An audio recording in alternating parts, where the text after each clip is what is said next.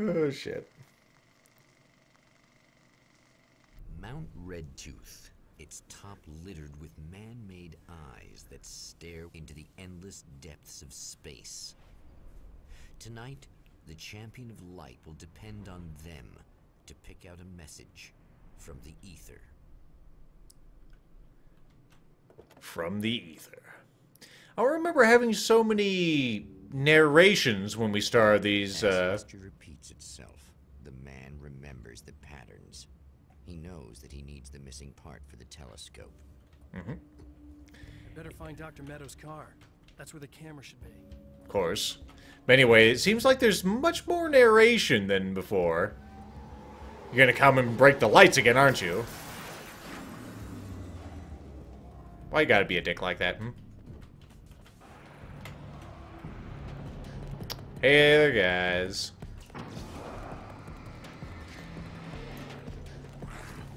Whoa! Hey there, fella. Oh! Dicks are throwing shit. I don't know where he is. I need him to stop.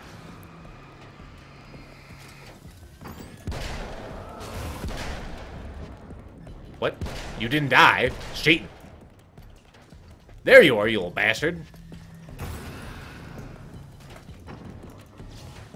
Okay, you are dead. Or vulnerable, I should say. There you go, little bastard. Would have taken you out earlier if I had known where you were. The guy, the game wants me to go on a weird path. Also, there's a page hiding somewhere. I smell it. Also, hello, tumbleweed. That is one heavy fucking tumbleweed.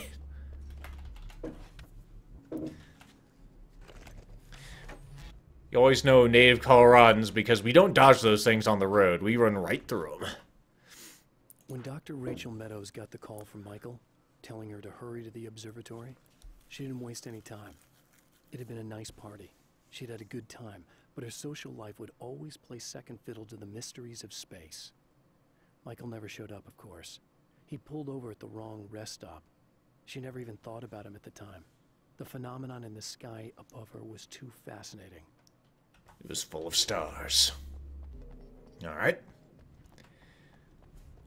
Making that their progress. Let's go ahead and switch to the side. I prefer you on my left, Al.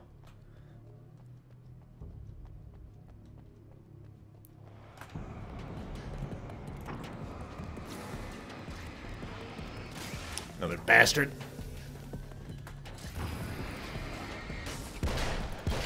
Oh boy! Whoop, whoop, whoop,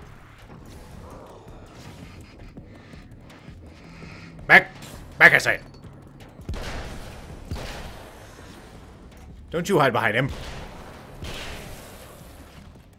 Love this gun. Oh, what's this? What you got? Hunting rifle, eh? Hmm.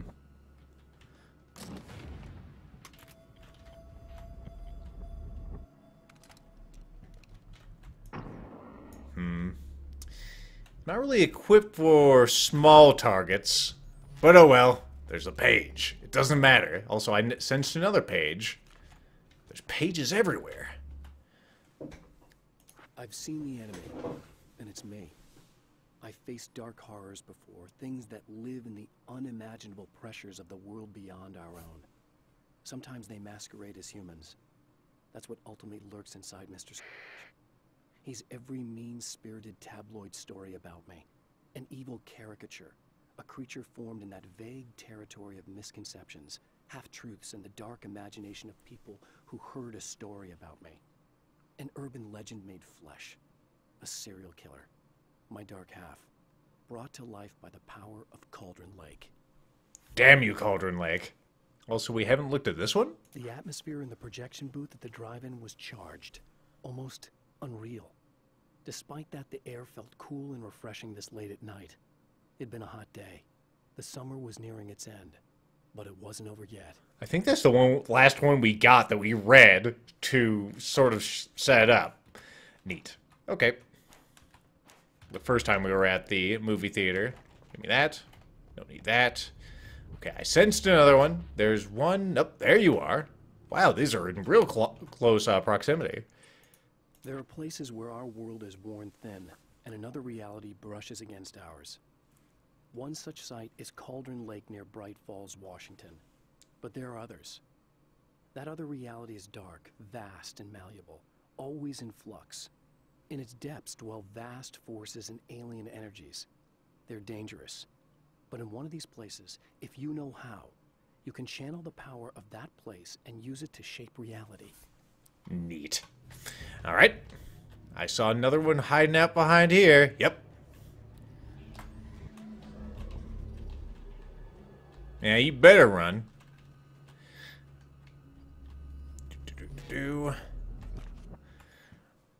darkness rose from the depths of Cauldron Lake and took Alice. It needed words. It needed me to write its way into our world. She was leverage, a hostage. I complied, but with a twist. I put in a loophole that gave me a chance to fight back. I was hunted by shadowy enemies, but I faced the darkness. I fought it with light. I drove it back. I saved Alice, but it came with a cost. I was trapped in the dark place below Cauldron Lake. All right, so that's where we are. We're under Cauldron Lake, huh? Wait, oh yes, the car is in a different location now because things are changing slightly. Let's go ahead and pick up this little rascal. I hope we get there and she's all, I need a different piece entirely. And I'll be all, ah, god damn it. I hear birds. Fucking birds. Let's try, out this little rascal. Come on, birds. Come on. Birdman. Come on, Birdman.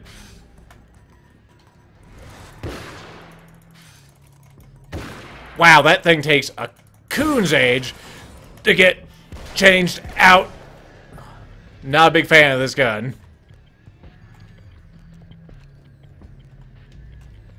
Unlike this gun, which I am a huge fan of, of course. Get away from me, you filthy casual. Taking swipes at me, the very idea.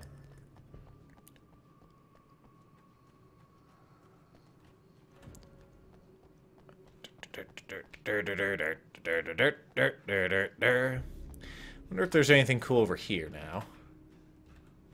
Of course, we need 40 to uh, to get the combat shotgun, which is up by the observatory. Oh, we got some flashbangs. Those are always worthwhile. Any other things on the minimap? Mm, would seem not. All those flashbangs would definitely be appreciated. Let's go ahead and switch the flares now.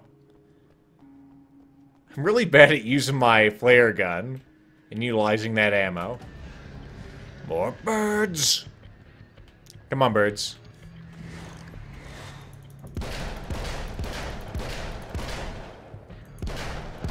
See you being cute.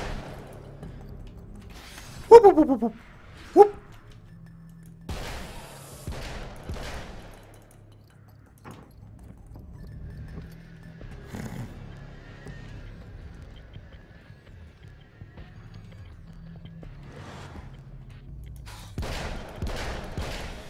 Not a problem.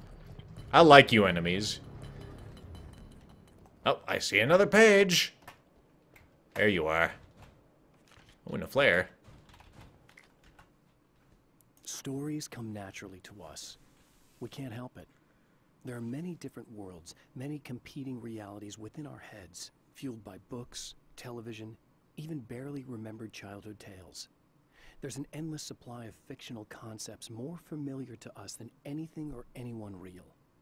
We have a far greater connection to the fictional characters we know and love than the random people we pass on the street.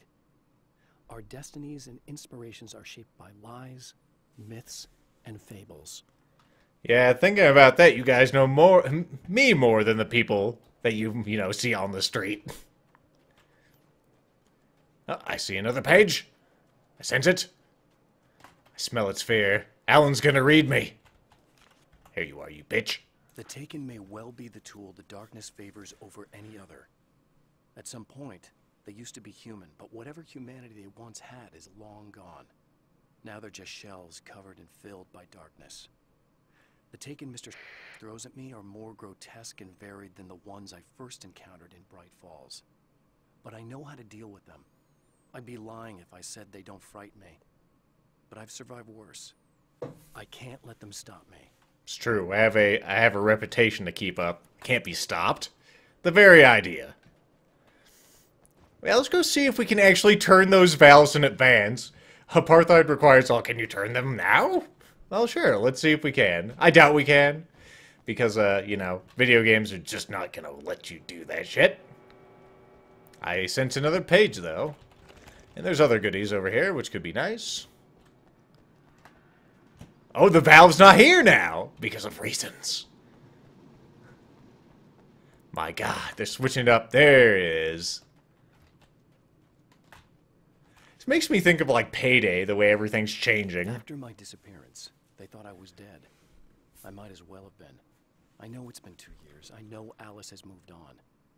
I've tried to find a way back to her, back to my life, but escaping the dark place is almost impossible.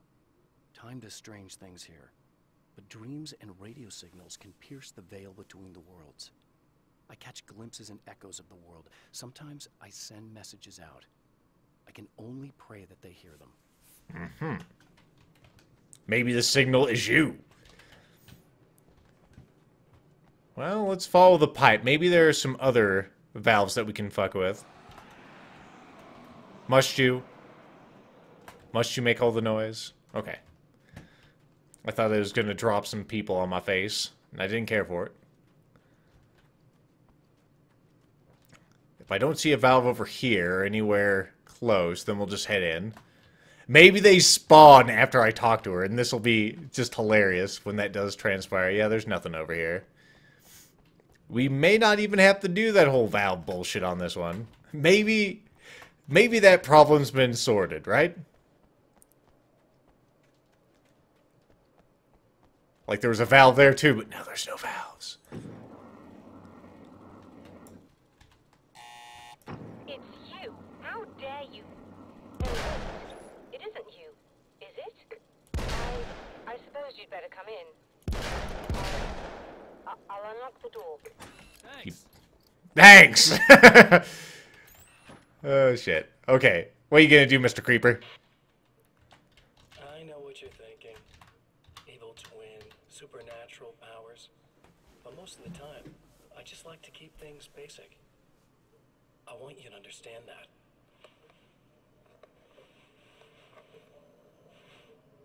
My favorite Hitman weapon. Need to get your hands dirty? No batteries, no moving parts, just physics. That's technology you can depend on. It's a classic.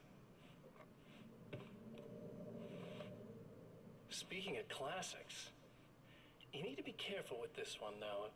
If the victim suddenly twists, you might end up cutting yourself. It's not really a workhorse, but I'm a sucker for this style.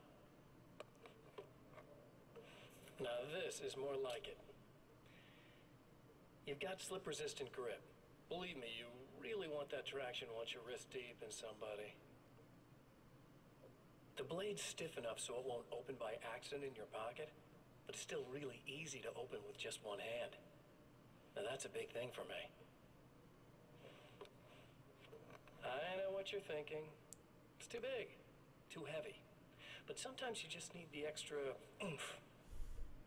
If you're talking intimidation, this is gonna do the job. Also great for dismemberings and whatnot. You know, I don't think it'd be big enough, to be honest. ah, I can't tell you how many things I've MacGyvered with this stuff.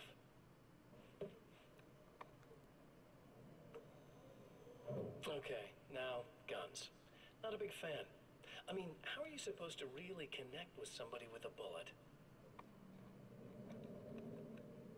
I want you to understand that. I take pride in what I do. We can't both be worthless hacks, can we? Oh my god, he totally got to me, guys. I'm a worthless hack.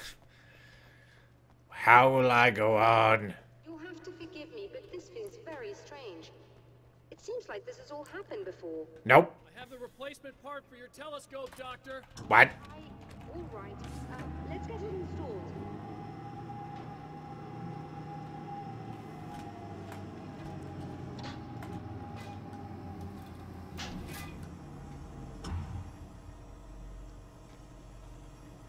Alright, let's go ahead and swing it up there again.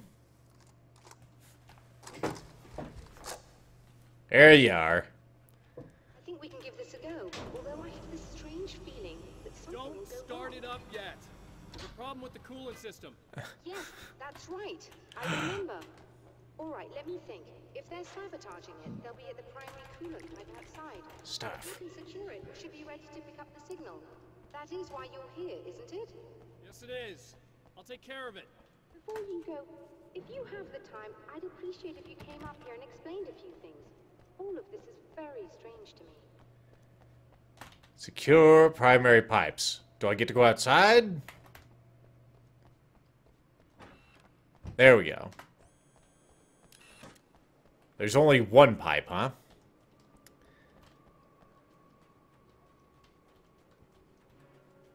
It's probably down at that big place then. Do I actually have to get up there? I'd hope not.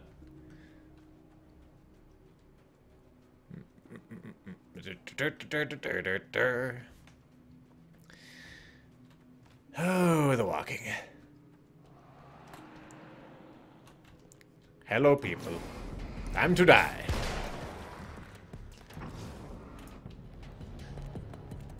Let's get, let you get a little bit closer. Make it sporting.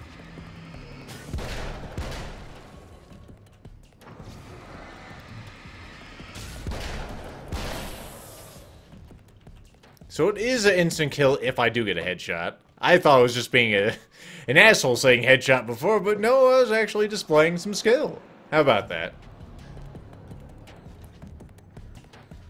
You guys appear to be stuck. There you go. You figured it out. Damn you, son of a bitch. I hate you.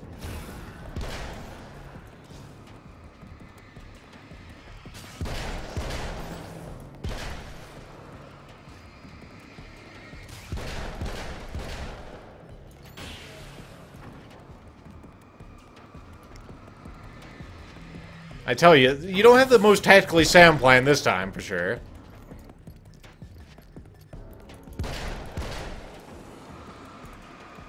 You're not gonna run at me? Hmm. What an odd behavior you're displaying. There you go.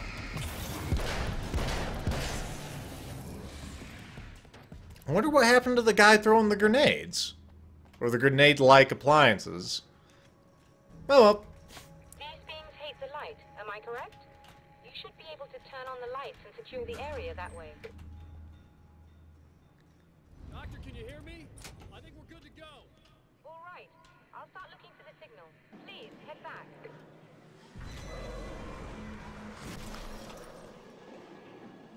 Alright, Chief, break everything. Where are you going now?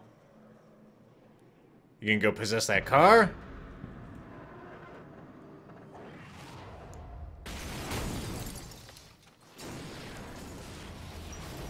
Alright, very impressive.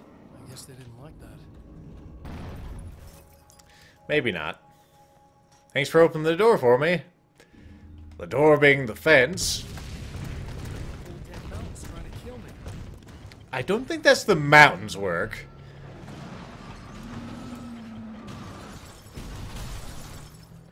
Okay, the it's not getting poltergeist. That is getting poltergeist.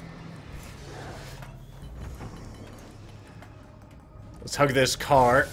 Could be handy.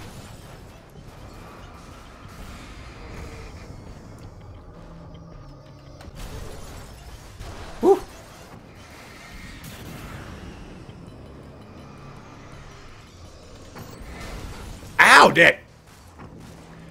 I was afraid that might happen, where it might push the car into me. Oh boy. Whoop! Let's just forget about them, Al. Son of a bitch. Son of a bitch! Why? Why you work against me, Mountain? Oh, hey there, fella. Get out of here. You're adorable. Only 11 more 357 rounds. More than enough. Let me in! Let me in! Let me in!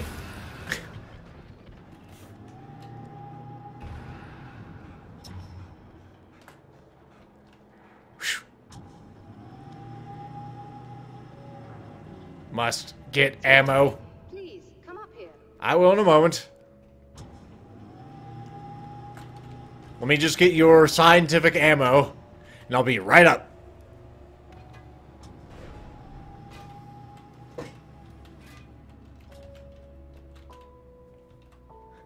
The return of Havok Engine derps disguised as game mechanics. Pretty much enter me. Find the signal?